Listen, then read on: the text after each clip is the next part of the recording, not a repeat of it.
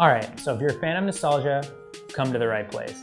We have the brand new Polaroid Lab. It's here, it's real life, and we're gonna take a look at it.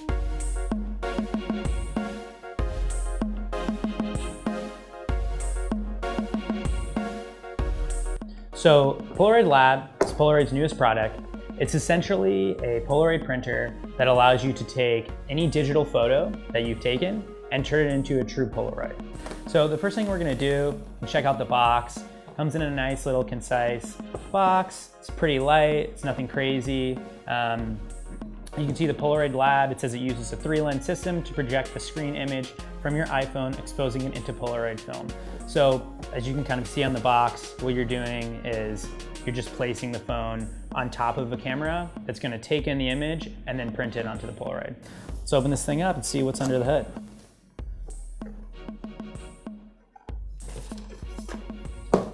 Little quick start guide, and then uh, a full user manual. The quick start guide is really simple. It kind of just goes through, tells you how to use the whole thing. It's pretty self-explanatory though, but this is a good place to start. And then here we go. We've got the actual uh, piece of hardware. It's pretty interesting. Um, you know, it kind of looks a little bit kind of like modern with hints of kind of uh, older design. Kind of resembles uh, the new Polaroid I-Type that's out. Um, has the same kind of tactile button here.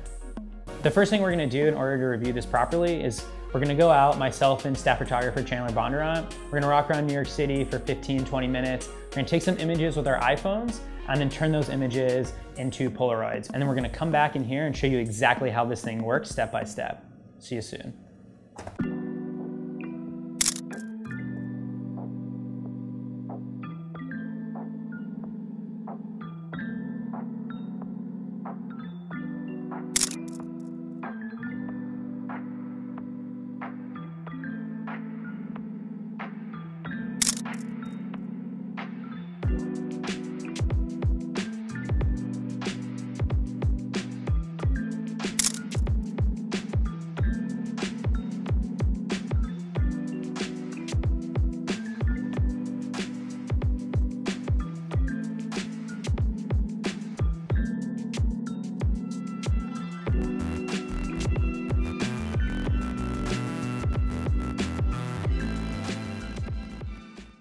All right, so now that you've seen all the images that we took from the iPhone and turned them into images with Polaroid Lab, as well as some of the DSLR and mirrorless images Chandler and I have taken, now I'm gonna show you exactly how we use the Polaroid Lab. So the first thing we're gonna do is turn this thing on.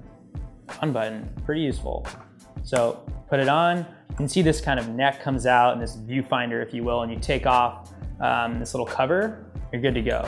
The first thing you're gonna have to do is download the Polaroid app. All right, so you can see on the app, all you have to do is select Polaroid Lab. Once you go there, you're able to choose your image. You can see I'm gonna go here and grab one of the images that Chandler and I took today, and I choose this image. I'm gonna click next. Now, you click, ready to expose. Now here's an interesting thing that I wanna note. So the images that we took they seem underexposed a bit. Some of the color is off. What you're able to do is come down here and you can go to color correction and you can adjust the exposure like this, which is something that I think that we would do in the future in order to learn more and get better with this.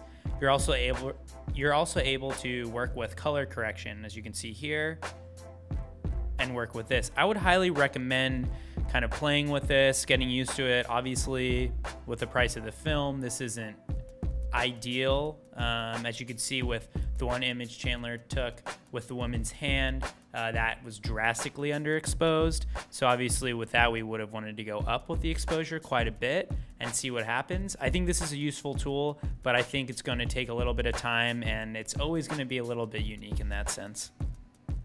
After that, you're able to just go and place uh, place your phone on the lab. It's that simple. So I'm gonna place it right on top of the lab and we're good to go.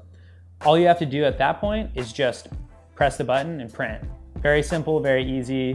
Kind of have to make sure that it's on the right location. As long as you hear the noise indicating that it's correct, you're good to go. So we're gonna just click it There you go, print it, and then just lay it down, either put it in your pocket or in a dark, dark area. Polaroid recommends that you do this in order to get the best exposure. For color film, like the color I-type, it's gonna take about 10 to 15 minutes for your images to properly expose. And for your black and white, it's gonna take about five to 10 minutes. This is kind of the same exact process um, that goes along with the newer Polaroid type cameras. Um, so you're not gonna see any difference in how long the image takes to properly expose and how long that process lasts.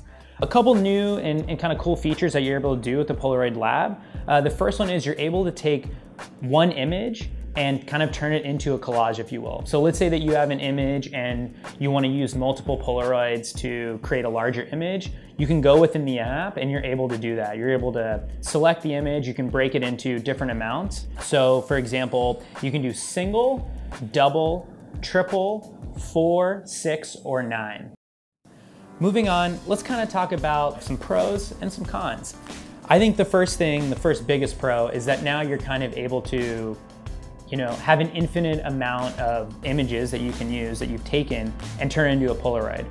Now, does this take a little bit of the kind of nostalgic factor and the intention and the kind of deliberateness that you have when you're taking a Polaroid photo? Of course. For some people, that kind of might take away from the experience, and for others, it might be fantastic. You know, now you're able to take any photo that you've ever taken and turn it into a Polaroid and not be so deliberate. You kind of have free range to take as many photos as you want and then choose from those. Price is another factor that comes to mind. For some people, it might not be a big deal, and for others, you know, it might be a barrier of entry. The Polaroid Lab comes in at $119.99. The Polaroid packs come with eight exposures.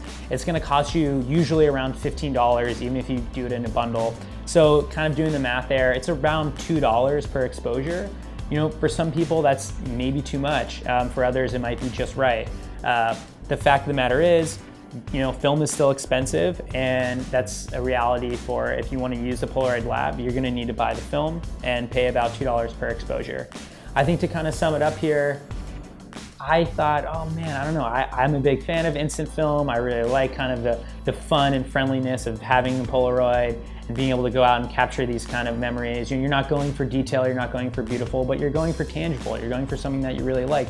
And there's something special about in that moment you get your Polaroid instantly, you're able to share it with your friends, your family, whoever, and it's kind of nice, it's pleasant.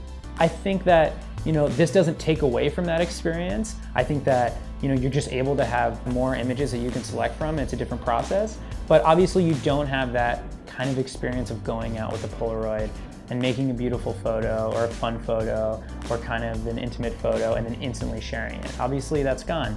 Um, all in all though, I think it's a really cool product. We are really excited about it here at the office. I think people are kind of experiencing some nostalgia and being able to take some of their photos and, and make them unique. And that's kind of, you know, the great thing about these Polaroids is your image is gonna look different, it's gonna be changed, it's gonna feel different, and uh, you know that's something that I think a lot of people enjoy. So the Polaroid Lab is dropping Wednesday, September 11th. You're gonna be able to find it at various retail outlets. Obviously, you'll be able to get it on the Polaroid website. The Polaroid Lab comes in at $119.99.